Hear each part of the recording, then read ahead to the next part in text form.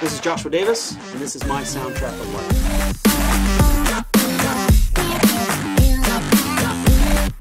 For me, personally, it's like it's my roots. I would hand draw my own t shirts, I would hand draw my own skateboards. There was this want and need to express myself individually. Products try to be all things for all people. What gets lost is the ability to sort of express your individuality. Collaboration went really easy in the beginning because we had already established ourselves as friends, as gamers, before we ever started doing work together.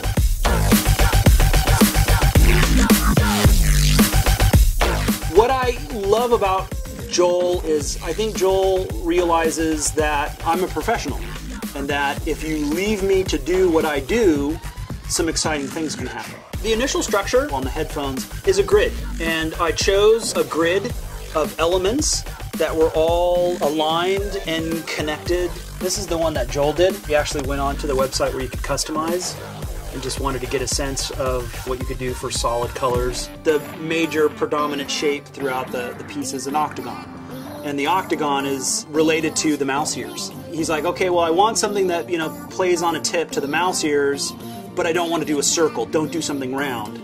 So I start to overlay all these different types of things to, to build a structure. And then I use the sound waves to kind of build up a loud movement of music. And then it's once you block it all, you're then viewing it in the, the confines of the canvas. And once I'd gotten to this point, I felt like we had something really exciting here. You know, that's a, a deadmau5 head without saying it's a deadmau5 head. Get these headphones that come out that are explosive, right? And we need that. I'm surprised this hasn't happened sooner. This is Joshua Davis, and this is my soundtrack of life.